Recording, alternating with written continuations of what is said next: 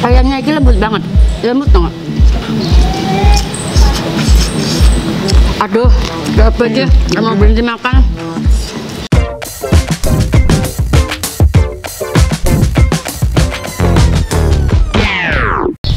Hai teman-teman, selamat datang di channel kesayangan umat manusia di seluruh dunia, Farida Nurhan.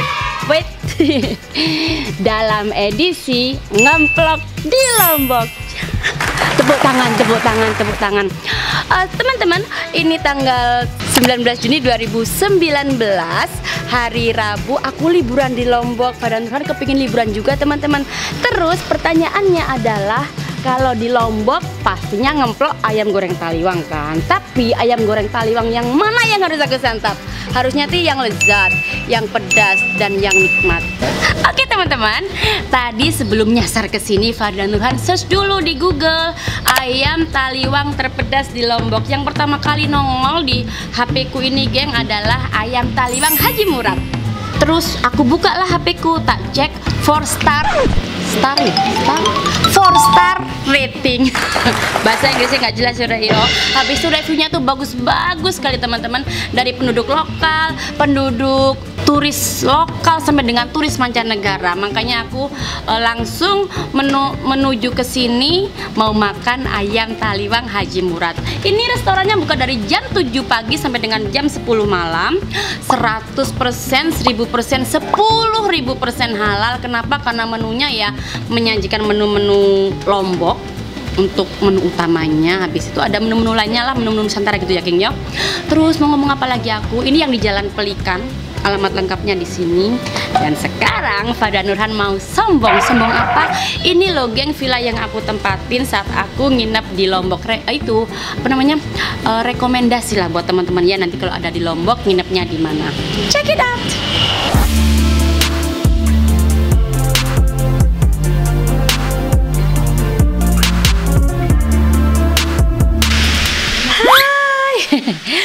welcome to Villa Batatu. Ini areanya di Kuta ya teman-teman. Ya alamat lengkapnya di sini. Kita mulai dari swimming pool di sana. Terus di situ tuh ada kayak sofa-sofa besar tempat duduk. Di belakangku ini ada meja makan. Di belakangku lagi ada dapur. Let's take a look.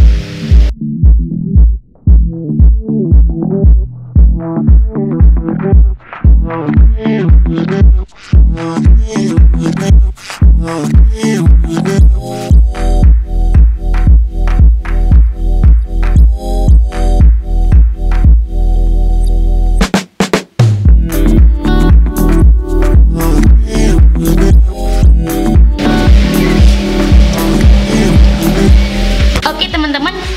again ini namanya Villa Batatu. Aku dapat ini dari booking.com. Eh, nginep di sini dua malam, semalamnya itu kurang lebih satu juta setengah gitu ya teman-teman ya di luar teks. Terus ini luas, I love it. Ada suara-suara kolam renang gitu. Bener-bener dari Jakarta, Metropolitan City, setiap hari penuh dengan kepenatan, polusi ada di sini kayaknya refreshing banget, segernya minta ampun. Habis itu apa lagi ya? Udah sih itu aja. Ini ada dapurnya setiap hari dapat sarapan ada kulkas-kulkasnya juga kalau mau nyimpan air dan segala macam gitu-gitu. Habis ini aku mau nyemplung di kolam renang Re. ala-ala biasa. Gaya-gaya gitu. Teman-teman pengen tahu nggak ruanganku kayak apa? Tempat tidurku. Tak bawa yuk ayo ayo, ayo.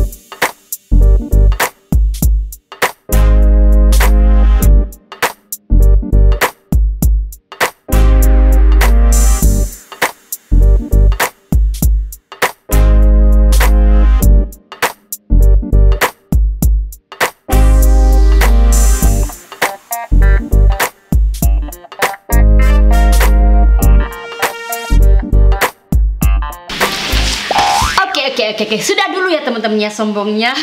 Jangan kebanyakan nanti subscribernya pada pergi. Sekarang kita lanjut lagi untuk ngemplok ayam taliwang di Lombok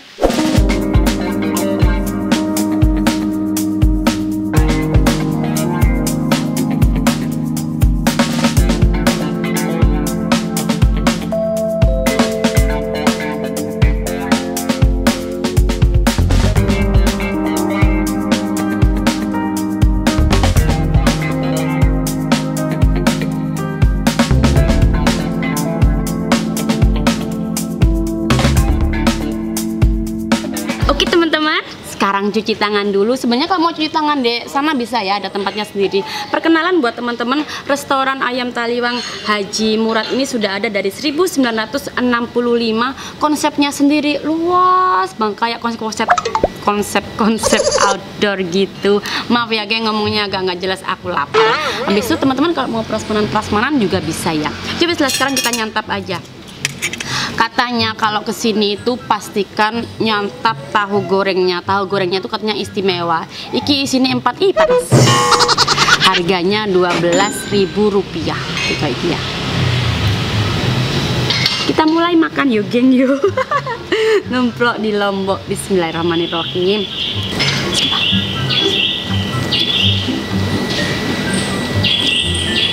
Oh ya hmm.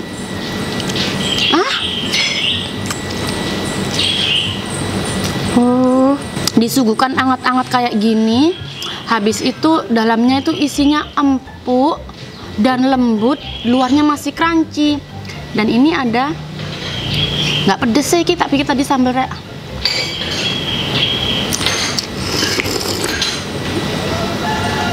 gula merah gitu. Oh, pedes. Gula merah dicampur dengan sambal. Eh, lagi ya teman-teman ya enak. Belum pernah makan gini di Jakarta kan tahunya pilihan deh tahunya lembut banget lembut banget. Kata orang lembut. Dimakan ambil sausnya kayak enak. Makanan pembuka yang pas banget. Tambah pulang terus aku berlanjut. Sekarang kita langsung aja ini. Nyantap menu utama ayam taliwang Haji Murad dengan harga Rp55.000 teman-teman sedikit yang tidak tahu ya. Kalau ayam taliwang ini cara masaknya tuh ternyata nggak asal masak gitu geng. Jadi ayam taliwang ini harus dipilih yang berumur tiga bulan. Nah habis itu dibelah punggungnya. Habis itu dibuka sayapnya gini dimasak dibakar setengah matang setelah bakar setengah matang habis itu digoreng. Setelah digoreng dibakar lagi dilumurin dengan bumbu rempah-rempah ini. Jadinya kayak gini. Ini masih umur tiga bulan ya teman-teman ya. Kenapa harus umur yang tiga bulan? Karena kalau sebelum tiga bulan katanya itu masih terlalu kecil. Tapi kalau lebih dari tiga bulan takutnya nanti alot. Gitulah mak aja oke ayamnya cili kayak ayamnya kecil. Soalnya masih umur 3 bulan ya geng yo. Wow. Lah lah lah lah tadi aku pesen yang pedas ya teman-teman. Kalau mau yang nggak pedas juga bisa. Wow. Bumbunya nyengat enak.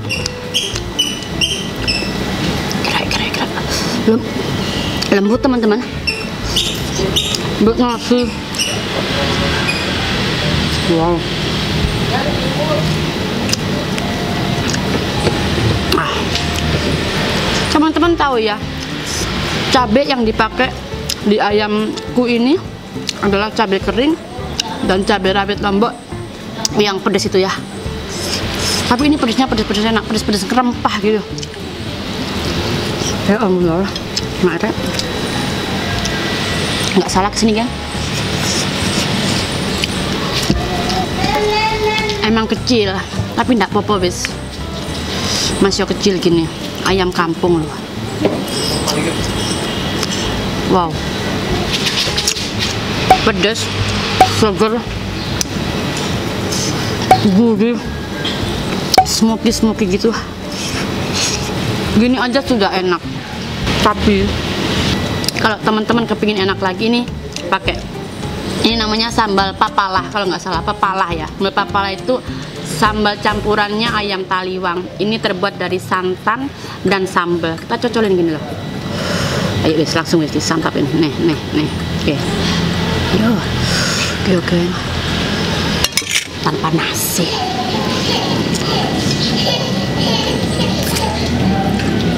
Oh maaf oh.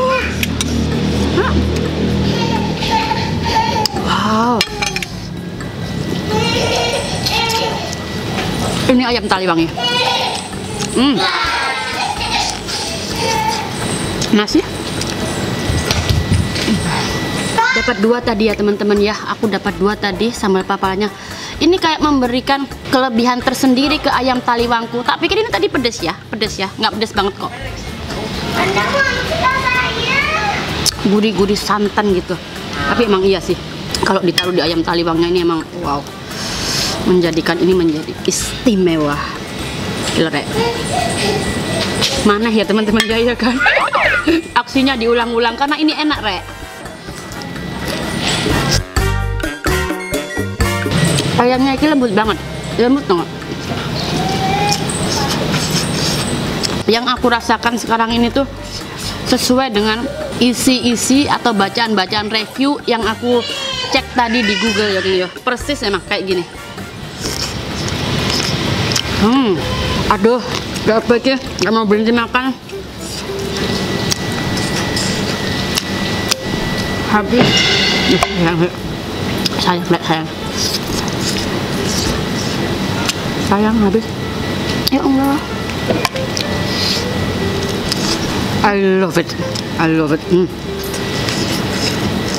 Bumbunya ini loh, rempahnya itu emang banyak. Banyak banget bumbunya nih.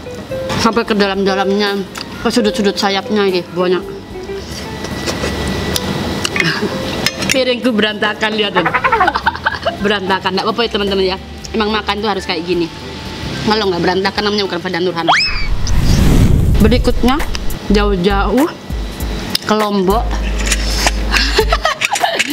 telur dadar 20.000 ya bukan salahku ya geng yo. Soalnya emang aku tuh pecinta telur dadar. Dan restorannya menyediakan telur dadar. Ya aku order lah kumpul lah. Tak coba ambil kiore ya. Ambil sambal papalahnya inilah. Ya apa ini apa aku bilang? Pas enak. Hmm telur dadar diintepin biasa sambal papala yang ada santannya itu. Nikmat banget gurihnya gurihnya double